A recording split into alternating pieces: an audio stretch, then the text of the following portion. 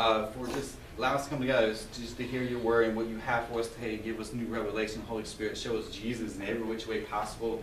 Show ways that maybe I haven't I haven't seen this week that you know maybe just come flowing out. You know, and give people, each one here just whatever they need. Allow him to see him as their need and then their answer and, and bringing them to completion whatever the, the situation they're going through. And that, you know, I pray that each person as they leave out, that they be thinking of Jesus now themselves and just be magnifying him and may that go out throughout the week when we're not in here gathered together with as individuals as we're out there and that they just see Jesus in every which way possible. In Jesus' name, amen. amen. So, we got finally got through the book of Hebrews, which took forever in the day. I think it, a month and a half, roughly. So we're going to start this new one, um, in Christ. I know it sounds great, sounds simple, but we're going to be going from the book, going to the first two chapters of the book of Ephesians, okay? Because Paul laid out so poetically. I think it's one of the most poetic written letters, in that he lays out what it means to be in Christ. And I want you to notice something that in that, when he's writing these first two chapters, if you didn't know that the book, the epistles never had chapters in the first place, okay, they're there for us to help study, it helps us to study. But the first two, the first two chapters actually is one continued in context. It's one continued statement that he's making.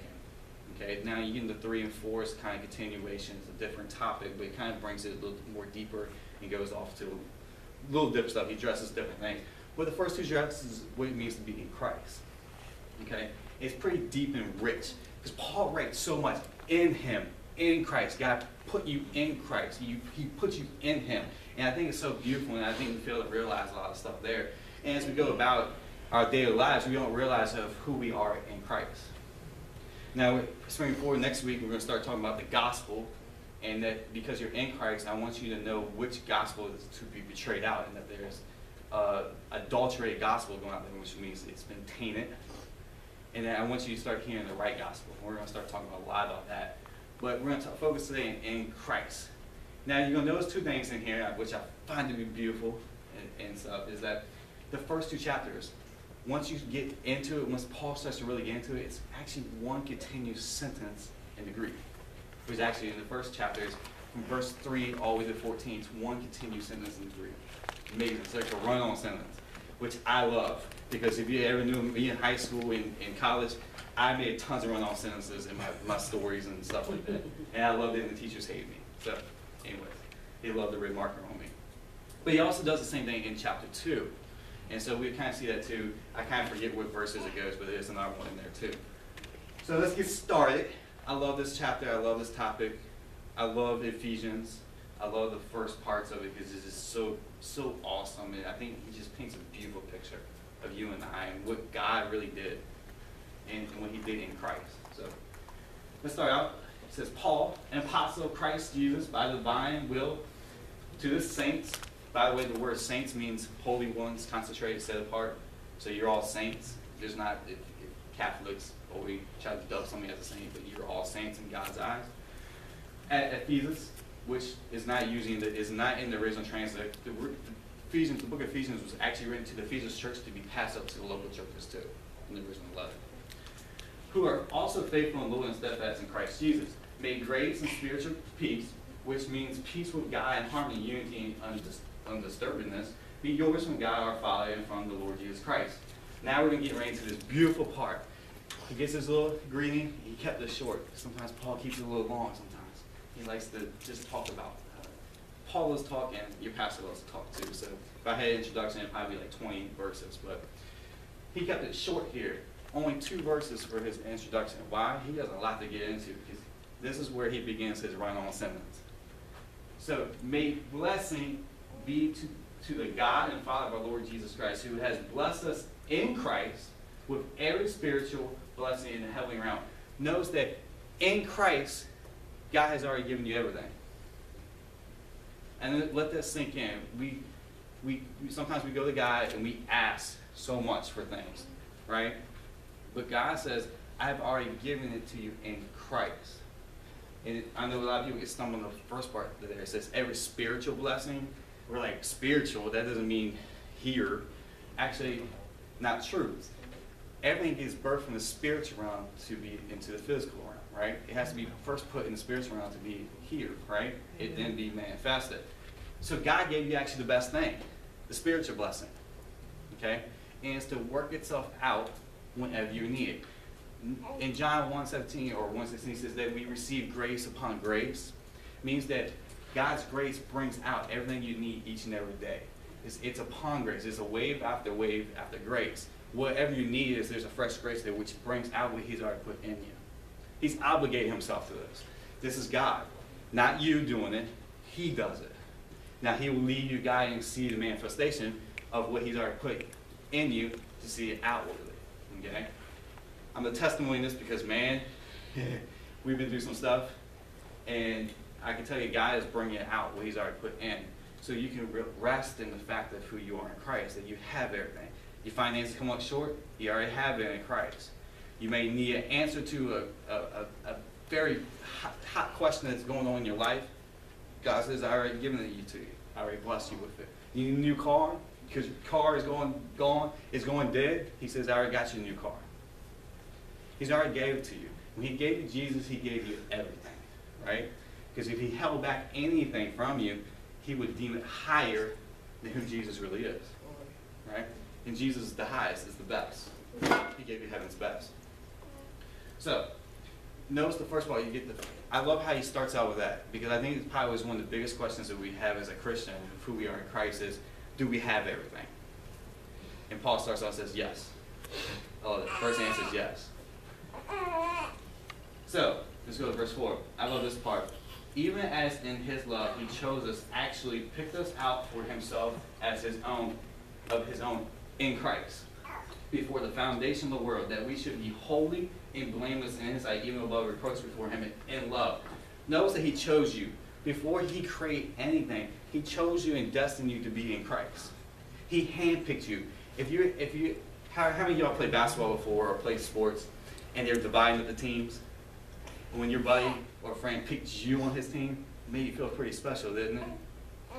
I was one of those kids that got kind of always was at the end sometimes, depending on the sport and what we're doing. If it was basketball, I was always last because they it. I couldn't shoot, could barely dribble sometimes. If it was baseball, I was always picked one of the first top ones. It made me feel special, right? So God wants you to know He picked you, He chose you.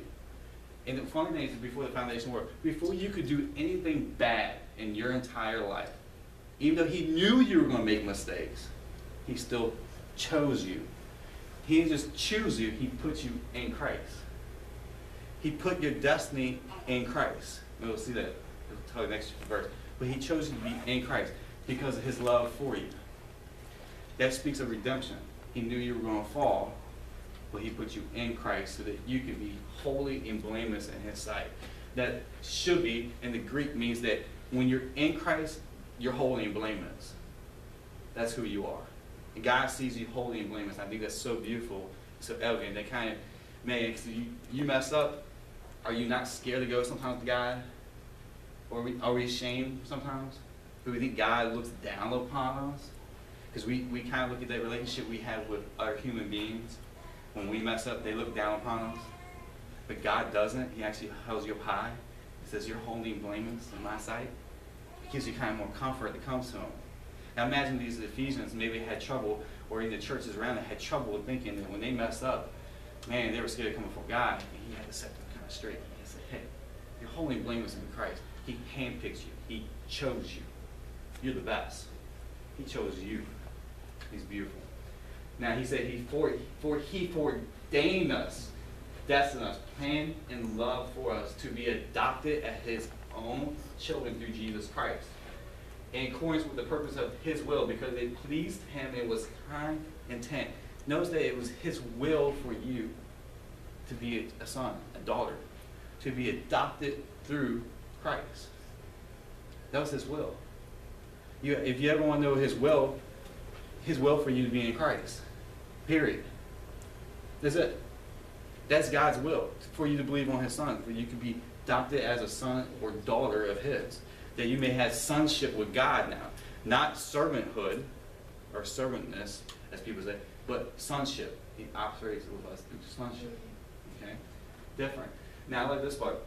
Because it pleased him. He's pleased when you accept your destiny. Wow. He's pleased. We think doing praying enough, reading our Bibles enough, you know, you know, feeding the poor enough, you know, just always saying the right things or doing always the right thing pleases him. He says, no, it pleased him. He put you in Christ. When you accept that destiny of yours, he's pleased. And it's his kind intent. It satisfies his love for you. Wow. That's how you start to see you start to see the deepness of his love when you start to see who you are in Christ. He starts to articulate. Now I want you to notice one thing. It never says anything about you to do or done. Notice it's always it's talking about here, God did. God did. God did. God put you. God chose you. God ordained you. God blessed you with everything. It's God and not us. We're removed from the situation, from the equation. It's Jesus plus nothing equals everything. Right? Six. So that we might be to the praise and commendation of his glorious grace, which he so freely bestowed on us in the beloved. He put us in Christ so that we could be the great praise and glory to him. He put us in Christ. You say, well, I have to praise and glorify him now. No, he said it pre- praise. We are in Christ. We are the praise and glory to Him. Period. Period. Being in Him makes praise and glory to Him. Wow. And we sit here and say, you know, doing praise and worship, man, I have to glorify God. I have to glorify God in everything. He says, first, I want you to realize this. If you really truly want to do it, you have to understand first thing is what? By being in Christ, you have praise and glory Him. Period. Now believe that, and you can rest on it. Now you'll see the manifestation outwardly. He, Paul is really building these people, at the church up, to show who they really are. Because when you believe right, you will actually do right. It'll be a natural reaction out of you, what's already been put in you. Now also too, here, you may have in your King James or New King James, it says accepted, right? Accepted into the beloved, which actually means highly favored in the beloved we know the beloved is Jesus Christ, right? Because God never once said anybody else to be his beloved in the whole entire Bible until Jesus went into the, and was baptized in Jordan River and says, This is my beloved son. Right? So we know that we're in Christ. You're in the beloved. You're highly favored. What does that mean? That God highly favors you.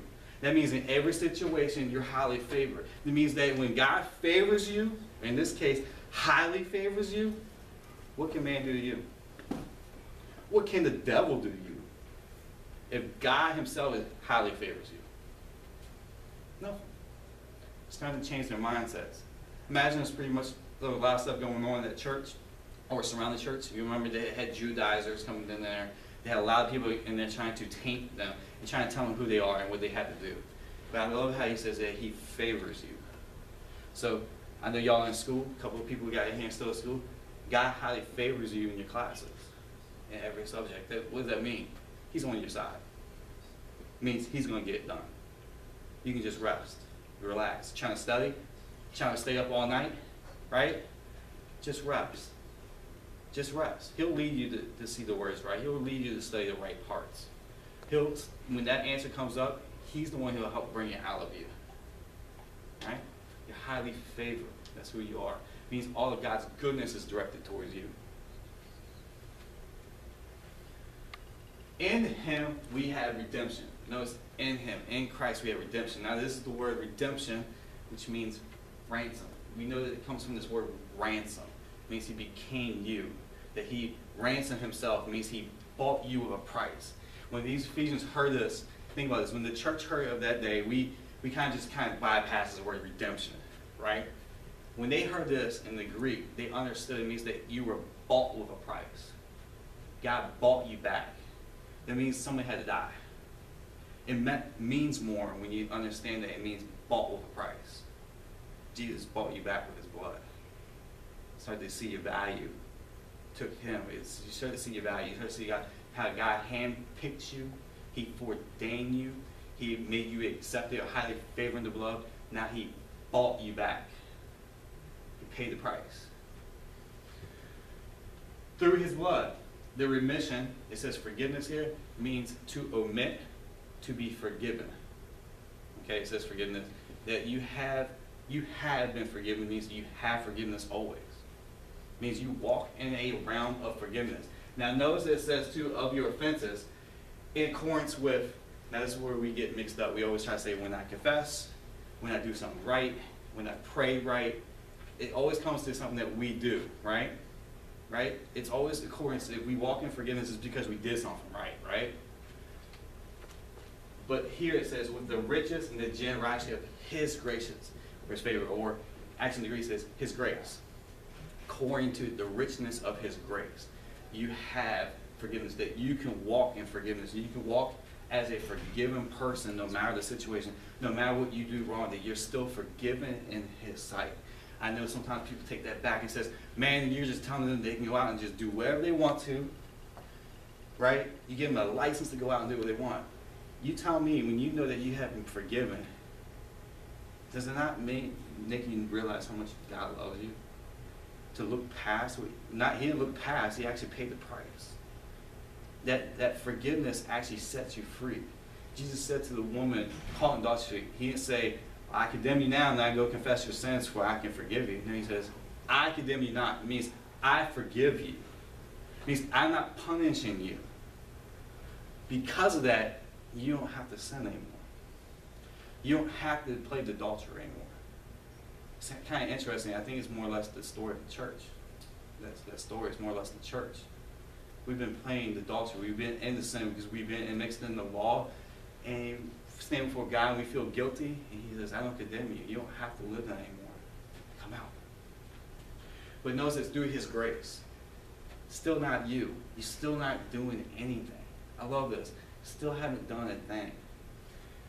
Now this part. So he riches of grace. Watch this. I love this part. Which he lavished, or this makes God the prodigal. Makes him the prodigal. Not the prodigal son in the Bible in the in the uh, parable says. This makes him the, the prodigal. Because it means lavishly. He lavished upon in every kind of wisdom and understanding. What is wisdom and understanding? the richness of his grace. Jesus Christ. That's wisdom. It's not about trying to do stuff right or what. It's actually his grace. The fullness of his grace is wisdom and understanding. The book of Proverbs is really about Jesus Christ, if you look at it right. If you don't see Jesus, you're not reading it right. Because you can see the right the, the blessings upon the head of the righteous. You read that, oh, I gotta do right actually means you're standing before God. Are you not in Christ? Well, you're righteous. This means God's blessing is upon you. You got to look in the eyes of the cross. With this wisdom, he, he lavished it upon you. He poured it out on you and I in all this wisdom and understanding so we can learn of him. We can learn who Jesus truly is. We can really truly see who our God really is, how much he actually loves us and what he did for us. You know, actually you start to peel it back, you start peeling away, you start seeing that love. Man, does it not make your heart burn within you? Does it not make you want to keep peeling it back even more and learn more of God? This grace? It does. It actually makes you love Him more. When we, want to say, you have to love God. We put that on so many people. God says, I just want you to see Jesus. And it becomes a response.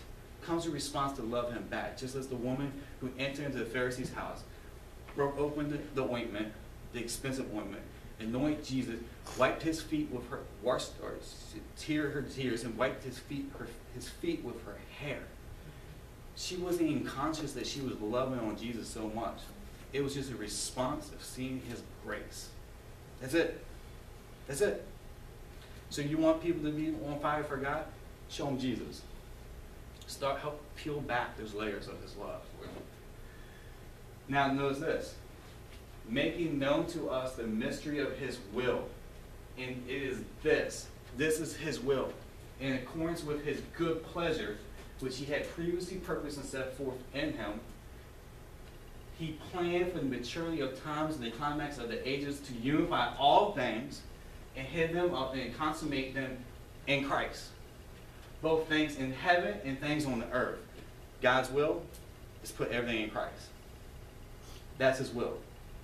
You don't have to sit here and search your whole entire life for it. His will is put everything in Christ. That is God's plan. To be holy and blameless in his sight. He's repeat what he said before. This is God's will. You to be in Christ. That's it.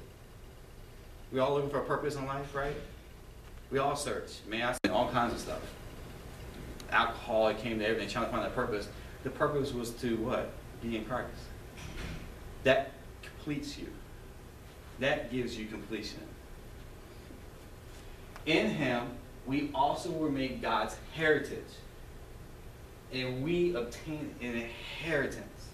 For we have been foreordained in accordance with his purpose, who works out everything in agreement with the counsel and design of his own will. He works it out to his will. How many of us try to make, make it work out to his will? He said he makes it work. He makes this inheritance that he has given to you work out for his will. He does it. Still not you and I. There's nothing there. Okay? Paul's going to show us something that we did, that we done. I think this is the amazing part but it's not going to be what you think. So that we first hoped in Christ, who first put our confidence in him, have been destined and appointed to live for the praise of his glory. We live today for the praise of his glory. I think that's amazing. We walk today as the praise of his glory. Everything we do is, is his praise of his glory. When he sees you, he sees what his son has done, and he is glorified, period. Now, guess what that does? Now, what does that free you to do? It frees you to go out and do the right thing. When you know you freely can fail, you can actually freely succeed. Okay? I think it's amazing. You ever seen trampoline artists? Tightrope artists? They don't do so well when there's nothing underneath them. When there's no net to catch them, man, they, it's a boring show. But when there's a net there, they do some of the most magnificent things you've ever seen before. Man, you're like, how in the world they ever do that? It's because they know they can freely fail. They can freely fall off and they can still live. Without the net there, they fall off, they're dead. Done. Having all the people screaming out, run out the door, screaming. right? So they're very cautious about what they do. But when you give, you lift that and give them freedom, beautiful. Well, same thing for you and I in Christ. In Him, watch this, in Him, in Christ. Also, you also have heard the word of truth. Now, he the word truth is symbolized with the gospel. It's the word truth. You know when he says that you shall hear the truth, and the truth shall set you free. The gospel is what sets you free. The gospel, nothing else. You will bring change to the situation? Bring the gospel into your situation. The gospel. Now we're going to talk about next week because actually you see it hidden so much in the Bible, actually in the Old Testament, actually them actually speaking the gospel out. You see it hidden foreshadowed them speaking and the enemies just falling doom. The enemies of the Israel coming against them just are defeated with the preaching of the gospel. So beautiful. And so it blew my mind away when I was when I was seeing it, when God showed me it. And so it's the gospel of your salvation. And had believed and, and adhered to and relied on him were stamped with the seal the long promised Holy Spirit it depends on your translation, you become one with the Holy Spirit. You actually are now one with God. You're not trying to be, you are. It means when God sees it, he sees no difference between him and himself, and you and him. You're one. You're holy and blameless in his sight. You're just like he is. Holy and blameless. You're one with him. If he sees you like that, there's nothing you can do to change it. He did it. He did it. If it's not your doing that produces it, it's not your doing that can undo it. Because God stamps it. He says stamps it. Bam, stamp, done, sealed, done deal. This is our promise. We've been promised the Holy Spirit, and we'll see that is our down payment to what's to come. God's given us a taste what it's going to be like. That's why I know some of us, we look in this world, man, we're like, this is a horrible world to live in. Why are we here? I might as well all be dead. I know Paul even struggled with that. He says, to be, to not to be out of the body is to be with Christ, but to be here is for your sake. You know what kept him here was the fact that this was the Holy Spirit. He got the down payment. He got that down payment. He started seeing his hope. He started seeing, I can have heaven here on earth today. Today. I can experience God's goodness here even in the midst of this all this chaos. That's what gives you and I hope. That's what makes me get up every morning because believe me, CNN doesn't do that. CNN makes me want to call my bed and close my eyes and cry. Yes, a grown man crying. all right. That spirit is the guarantee of our inheritance. It tells us that we have been bought with a price, that we are in Christ, that God has given us everything. That's what the Holy Spirit is here to tell us. That's what He's here for. He symbolizes all God's goodness that you have. That's what the Holy Spirit is here. The first fruits. I love that. The first fruits. Anytime you read in the Old Testament talking about first fruits, it's talking about it's actually a symbolizer of the Holy Spirit, having the Holy Spirit. Symbolized of that. The pledge of foretaste, the down payment on our inheritance. In anticipation of, his, of its full redemption, our inquiring and complete possession of it to the praise of his glory. He came for his glory, not your own. Again, God's doing everything. We're just sent back, just receiving, being changed. Love it. For this reason, now we get off this runoff sentence. The runoff sentence has now ended, but it still keeps going. For this reason, because I have heard of your faith in the Lord Jesus and your love toward all the saints, I do not seem to give thanks for you, making mention of you in my prayers. That's my same thing for each and one of y'all. I give thanks for y'all. I'm thankful. Y'all are here. I mean, y'all come. You help. I'm thankful. Y'all are in Christ. I'm thankful for that. Because you know what? I don't want to be eternally without y'all. And that's our hope. That's why we put those people on our website. That's what it's all about. I don't want to go. I don't want to go to heaven without missing somebody. I want everybody to I want to party out with Jesus with all y'all. I don't get on the dance floor. I can't dance in this body. I sure, I'm hoping I can dance in that body, right? so I want to dance in that body with all y'all. I'm thankful for you guys. I am. Truly I am. But I always pray the God of our Lord Jesus Christ, the Father of glory, that he may grant you a spirit of wisdom and revelation of the insight, mysteries, and secrets into the deep, intimate knowledge of him. And that's my same prayer for each one of y'all. I pray that God reveals everything to you. I pray that he just opens up the door to see all his grace for each one of y'all. Because I know what? Seeing his grace changes your entire life. I don't like seeing y'all struggle. I love y'all seeing Jesus. And love y'all just being formed as a pastor, I've seen so much y'all. I know I talk to y'all. I know more about y'all probably than most people else know about y'all. It's, it's kind of interesting, but I love seeing the transformation of seeing that revelation take place. I love seeing it. It's absolutely beautiful. It makes me get out of bed and keep going in the ministry. Seeing that. It's absolutely beautiful to me.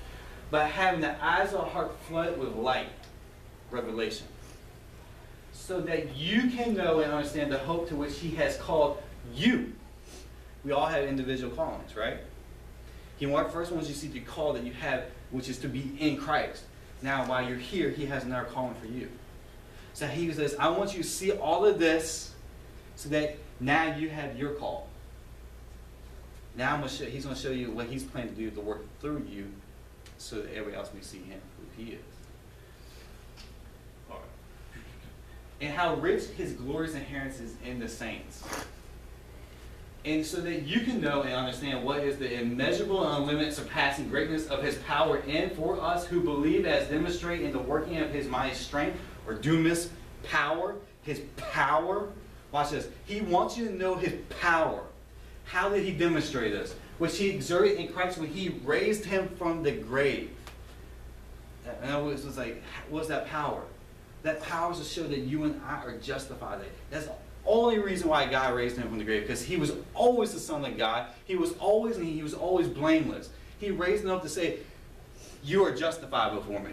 You are right standing with me. Your sins have been washed away, gone. You are wholly blameless in my sight. That's the reason why he, he, um, he raised him from the grave. That's it. That power, that's love. Because man, only love can do that. Only love can do that. His power is his love. He raised him from the dead and see him at his own right hand in the heavenly places. He sits before God to represent you and I before God. He is all right standing. We're in Christ. I want you to picture that. In Christ. If he see at the right hand, where you and I see that today? At his right hand. Wherever Christ is, that's where we're at. As he is, so we in this world. If he's seated high, we're seated high right now. Right now, at his right hand. Right now. Not until we get to heaven. Right now. You start to understand that man, power starts to flow out of your body. Man, it starts to flow. it really starts to flow. Man, because man, nothing has a hold of you now. And we'll keep seeing it says that he placed him far above all rule and authority and power and dominion and everything that is named above the title that can be conferred, not only in this age and in this world, but also in the age and the world which are to come. If he see above high all that, where are you above? The devil has no touch on you. Your sin has no touch on you. Each person has no touch on you. Your circumstance cannot touch you. You are far above it. Far above. I said this before. Adam and Eve were placed in the garden. They fell. God could easily just redeem us and put us back in the garden. No, he did. He didn't put us back garden. He put us high above at his right hand so that we can never fall again. So that he could be with us forever. There was no chance the devil could touch us. That he can try to trick us to get out, to fall again. No, he put us at his right hand so that he can watch over us. That we don't have to fall. Man, that is beautiful. I want you to start thinking do you deserve any of this? The answer is no. Okay, we're, going to start getting to that portion. And he has put all things under his feet, and he has appointed him the universal and supreme head of the church. He's the head of us, right? A headship exercised throughout the church, which his body, the fullness of him, who fills all in all, for in that body lives the full measure of him who makes everything complete, who fills everything everywhere with himself. We're the church. Are we not gathered today? We're the church. We're the church. God is full here. His full measure is here. Here. Us gathered together is here. This is why we gather. It's because it's here. When we come together, the devil can't take us because the full measure of God is here. You have the hands, you have the feet, you have the eyes, you have everything here. Because the hand can't operate without the eyes. The hand can't operate without the feet. It can't operate it. It can't operate on your own. It's in the church that we come. So what, the, what does the devil try to do? Try to get you not to come. Brings up excuses. Says you need to be by yourself. You're better off by alone. Be alone. Right? Because in that, there's no power. Just by yourself, there's no power. It's when we come together I don't want to be the only one out there out there in front of abortion clinics telling the God loves them. I want all of us to be there because that's the church. By myself, I'm not the church, I'm not just alone. When we come together, we're the church. This is just a wall. When we get our own place, it's just a building. It's not church building. We don't go to church. We are the church. It's called church service. This means that the service, we come together, the church together in Christ. Now, I want you to start thinking this. One, two things can happen when you start to hear this. One, you start thinking, I don't deserve any of this, right? Second thing says, man, I must have done something right. One or two things happen, right? Even though, even though we said there said God did everything. It never said for you that you did anything. But still, man's fallen mind still comes up and says, I must have did something, right? Watch Paul address this issue. Watch him actually talk about what you have done. I love this part. I love this. Let's go on. In, in you, he made alive when you were dead by your trespasses and sins. So for one, before Christ, you were never alive. You were dead, according to God. You were dead. So you only have life when you're in Christ. That's it. Done deal. I don't care what else you try to do in, in this world. You'll never have life unless you're in Christ. He's our life. He's the very air that we breathe. Right? Now, watch this. God, he's going to show us what we have done. You ready for this? You want to see this? In which at one time you walked, wow, habitually. You were following the course and fashion of this world. Were under the sway and tendency of this present age, following the prince of the powers of the air. You were obedient to and under the control of the demon spirit that constantly works in the sons of disobedience, the careless and rebellious and the unbelieving who go against the purpose of God. And among these, these we as well as you once lived in conducting ourselves in the passions of our flesh, our behavior governed by our corrupt and sensual nature, obeying the pulse of the flesh and the thoughts of the mind, our cravings dictated by our senses and our dark imaginings. We were then by the nature children of God's wrath and the heirs of his indignation like the rest of mankind. He actually tells us what we actually did. It was nothing right. He says, first things come out, you talk about he talked about all these beautiful things. So he got God knows the first thoughts that are going to come to your head. Yeah, I don't deserve it, or I do this. I must have done something right. He actually says, no, you actually did everything opposite, opposite of right. You did everything wrong. He says you did everything wrong. You were no different than anybody else of this world. You walked that way. You were under the control of the devil. He had you, and you did everything wrong. Right? That's all, actually I do. But I love how God never leaves us right there. These are what I call these but God moments. Because it always there, it talks about, man, how filthy and how terrible that we did in our walk. But it always comes with, but God. But God. Verse 4, but God. But God. It didn't say, but you did something. He says, but God did something.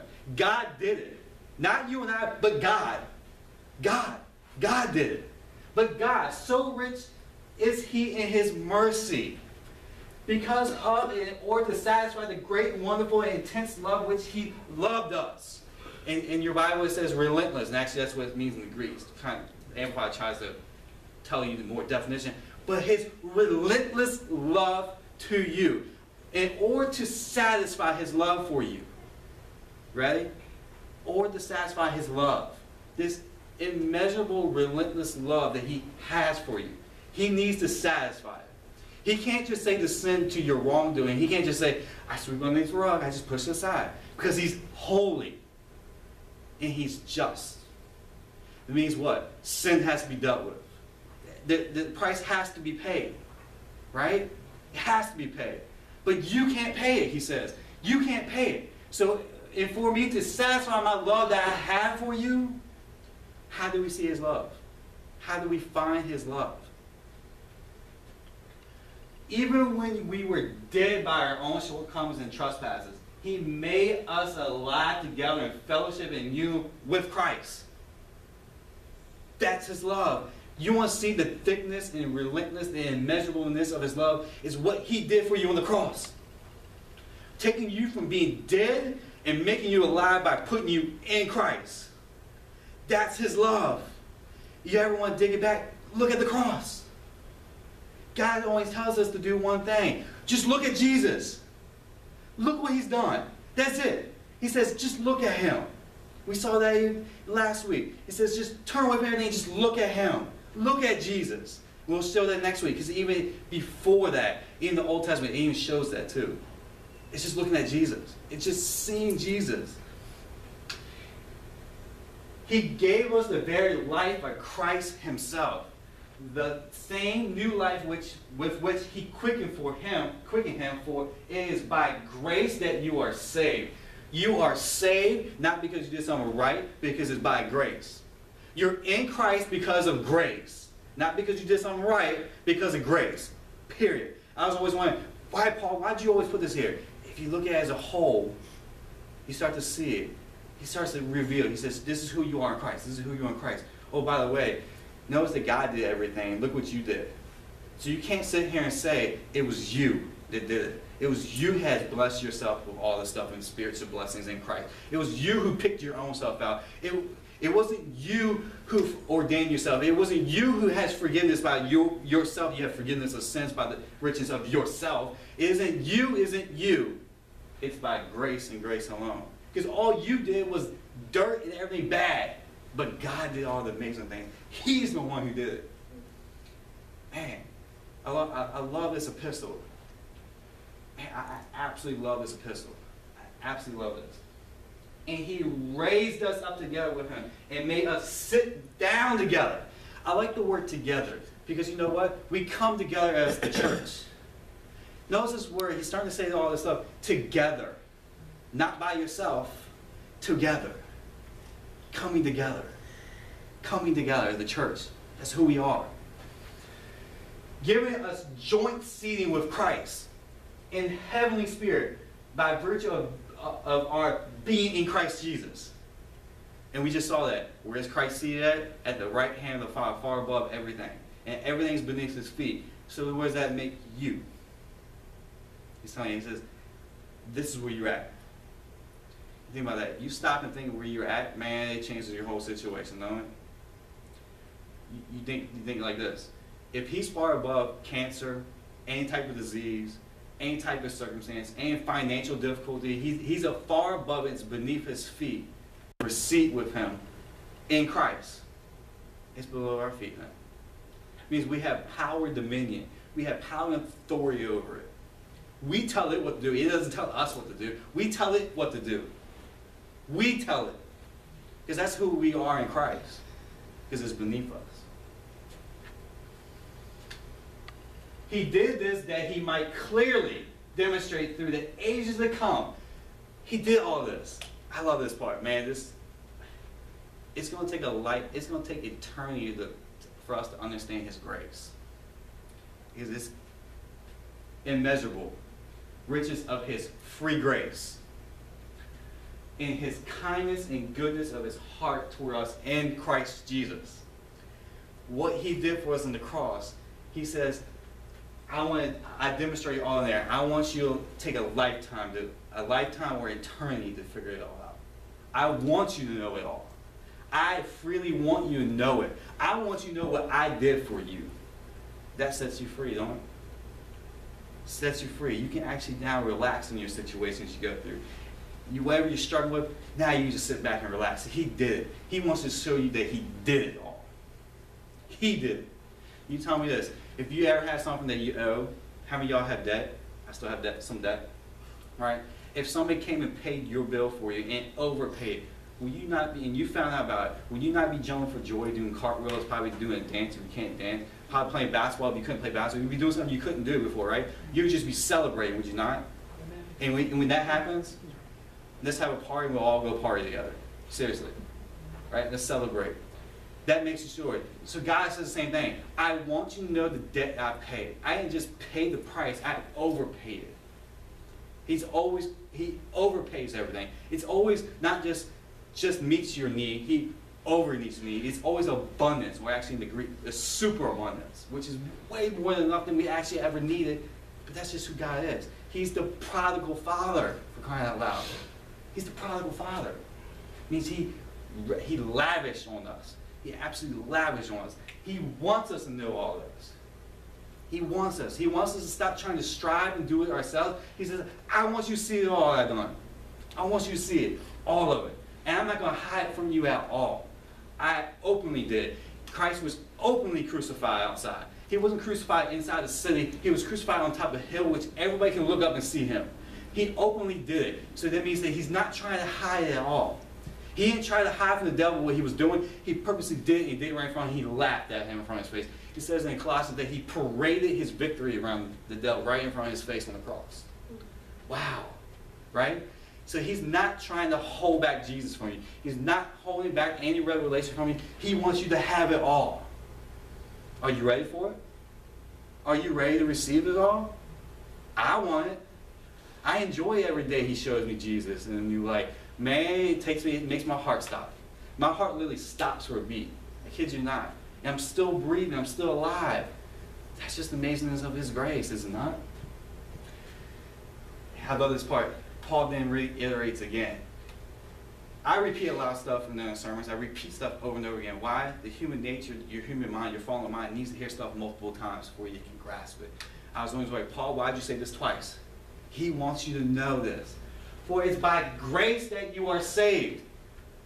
Through your faith, you're believing in Christ. Right? And this salvation is not of yourselves. It's not of yourself of your own doing. It came not through your own striving, but it's the gift of God. It's a gift. It's not because you kept the law. You kept all Ten Commandments, which none of us did. And I'm sorry for the rich young ruler that he thought he actually did. And Jesus zipped the first one. He said, you know, you missed the first one, my friend. I still love you. You come, come, come. It's okay. You be like Zacchaeus in the next chapter who says that he who stole money from everybody because he was the chief tax collector. The chief means that he was the mob boss. He had his little minions go out there and stealing money from the rest of the Jewish people. His own people, his own brethren he was taking money from. Yet one experience with Jesus, he gave him all back plus. But that rich young ruler couldn't give one back because he was so full of pride. He thought, what can what do what should I do to inherit eternal life? You can't do nothing, my friend, because it's by grace and grace alone. Not because of your works, not the fulfillment of the law's demands. Take the law out. The law can never save you. Move it aside. Lest any man should boast. is not the result of what, what anyone can possibly do, so no one can pride himself in it or take glory to himself. Can't do it. When you know that you're saved by grace, you just give praise to God, do you not? Your reaction is praise. When grace produces always thanksgiving. It always produces thanksgiving. When you see grace, it makes it what? A praise come out of you. It may be just simply say, thank you, God. Thank you, Jesus. That's it. That's so simple. That's so powerful.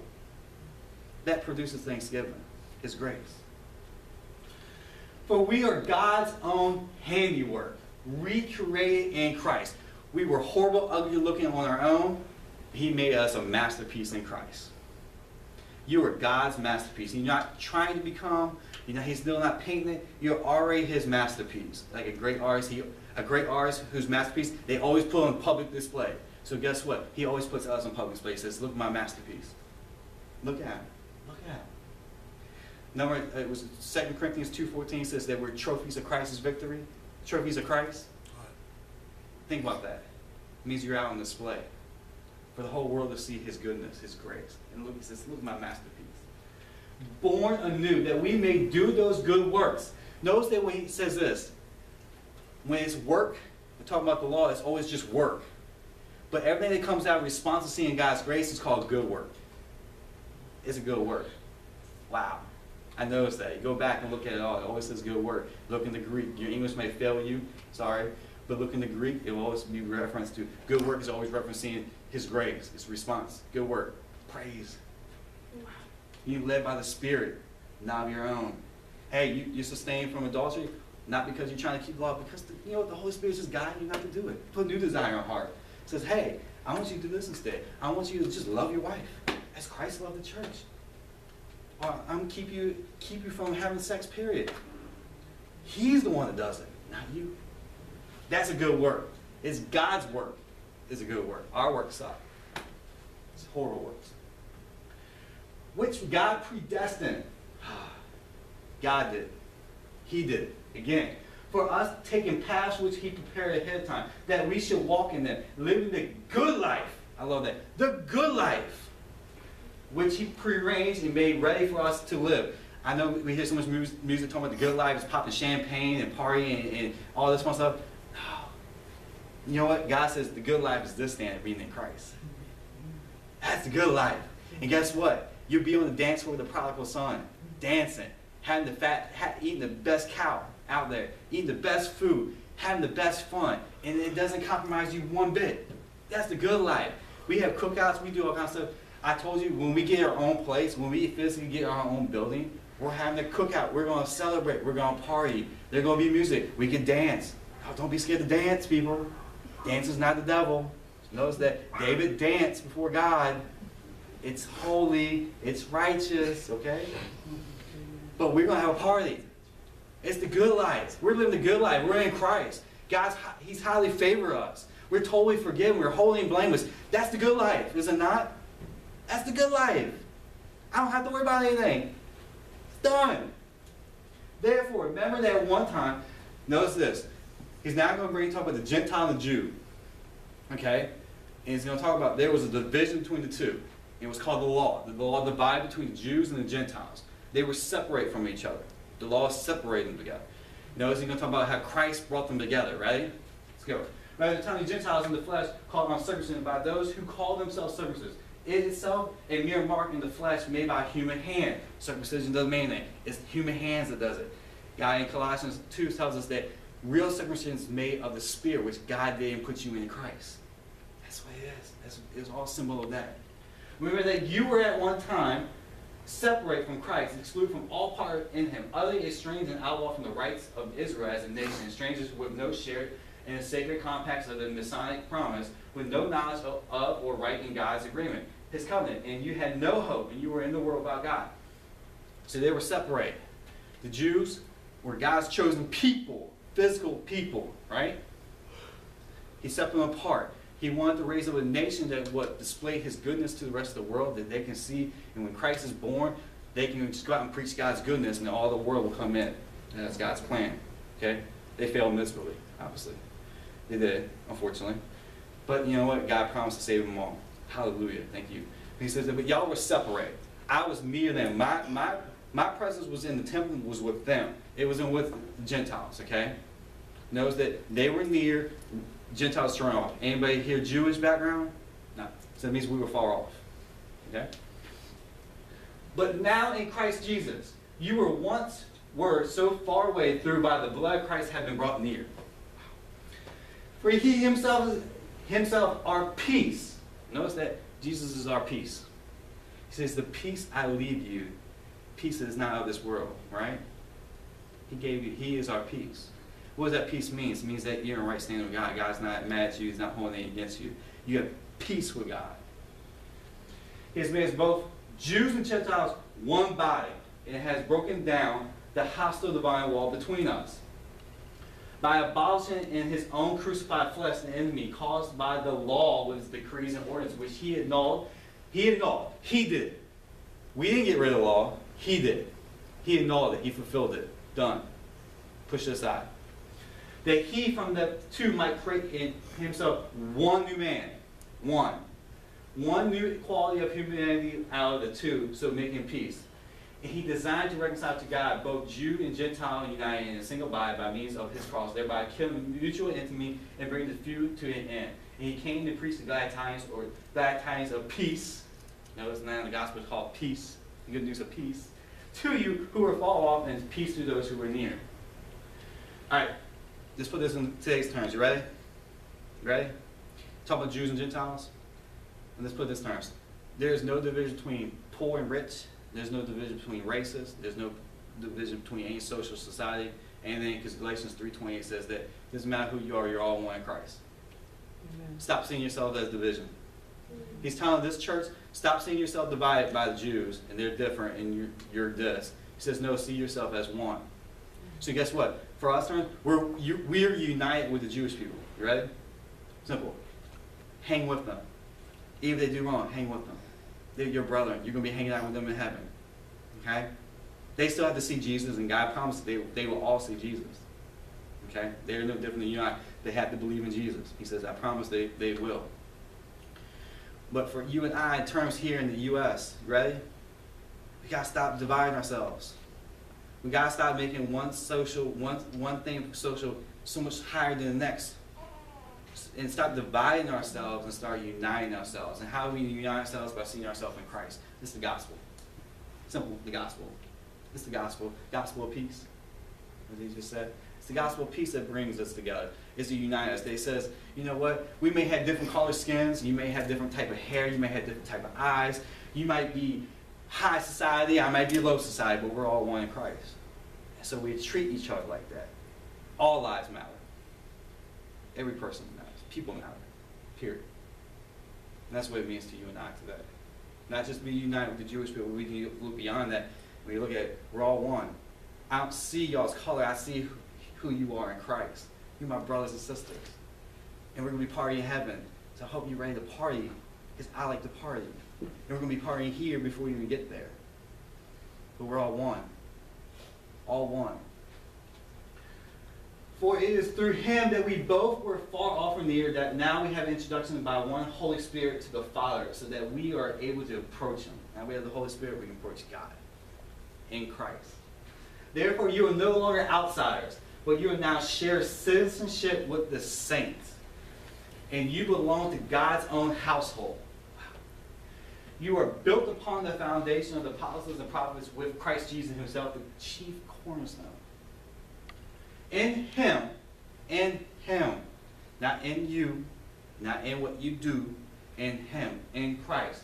The whole structure is joined. We try to go out there and we try to build relationships with people. We try to build a structure that creates what? Unity. We try to say that this is going to make us all come together and be one peaceful world, right? We try to do all those things. He says, no, it's in Him we all come together. In Him the gospel brings us all together. But the gospel we preach, how can people believe in Jesus Christ? We preach the gospel to bring us all in one. The church is one. Maybe different types of people all in there, but we're all one. That's it. join together harmoniously. I love this part, welded. Welded means, man, when, when you weld metal together, it don't break. Man, it stays together. I don't care what you do, man. You try to break the welding part, it's like, I, I don't know the chem, I, I'm a science person, I love it. I just don't know what makes it, you know, but I know this much, you can't break a welded spot unless it's poorly put together. You know what? God doesn't weld stuff poorly, does he? He always does it perfectly. It can't be broken. Together harmoniously, harmoniously, it continues to rise into a holy temple in the Lord. It's church. A sanctuary dedicated, consecrated, and sacred to the presence of the Lord. That's the church. Church. We are welded together by God. All different types. Welded to God. As a temple to God. Where his presence dwells forever and ever and ever. Amen. In him. Not in you and what you do. Again, in Christ. And in fellowship with one another. I love this. In fellowship with one another. You yourselves also are being built up into the structure with the rest and to form a fixed abode of God in the Spirit. And this is where my sermon ends, by the way. But, you know, how Paul, orchestrated by the Holy Spirit, brought us together in Christ. He, he showed us what it meant to be in Christ, and he says, oh, by the way, it's not by your own works. He, he initiated that whole mentality and says, you didn't do anything. Notice that all this except for that one, two verses talks about us, and it's not ugly. It's not. I mean, it's not pretty what he said about us, what it's doing. It's ugly, but everything else God did is beautiful. Notice they took all those verses to explain what God did for us in Christ. Man, it's a lot. You know what? He probably could have kept on writing. But I want you to focus in on that. He blessed us with everything. He handpicked us in Christ. He picked us in Christ so that we could be holy and blameless in His sight. What does that mean? He can, we could be with Him forever. So that we're not going to be left behind. We're with Him. He gave us, predestined us to be in Christ. That He gave us, He gave us highly favor in Him. So that any circumstance that comes against us, it, we are favoring. Odds are against, with us, not against us. Says that you have forgiveness or you have removal of sin, not by your works, but according to the richness of my grace, which I pour out on you in all wisdom and understanding. Who I want you to see to the day that eternity just keeps on going, going. I want you to learn it all. He says, oh, check out Jesus. Yeah, guess what Jesus did? All his power. I want you to know the power, which is his love, that raised him from the grave. Oh, and I set him high above everything else. And then he goes and says, you know what? You might be puffing yourself up, but you know, I'm a that you did all this, but God did all this. God saved you. God put you in Christ above everything. That's who we are in Christ. Oh yeah, guess what? You may see division among yourselves when you look through your physical eyes, but I have made you all one. And when you start looking at the eyes of God, man, everything starts to come in together. You start treating yourself so much better. You start treating others better. You start treating them with respect. You stop looking down upon people who you look down upon. You start lifting them up too that who you are too as well. You don't look at yourself bad either. You stop trying to pull yourself away and says, I just want to be alone. But I'm going to come in and be the church. I'm the church. Let's come together. We're going to come together as one to do what? Tell the world about how God, how great God is. To come together for us to see Jesus to uplift ourselves because you know what? We go through struggles and we see Him, we get uplifted, and guess what we end doing together? We come back out, we go out in the world, we leave these four walls and we go out and preach the gospel together. One accord. So they were one accord, the church, the new church. Why? They saw that. And believe me, that was a mixed church. If you actually do the research, they were a mixed church.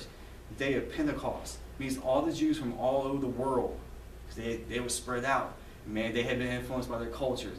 They weren't all just Middle Eastern. They, man, they were black, every situation you could possibly think of. They were Romans, everything. They all came there. 3,000 of them got saved and became the church. He says they were all one accord. Means they're, what they looked like on the outside did not matter. They were all in one step. So that's how we should be today.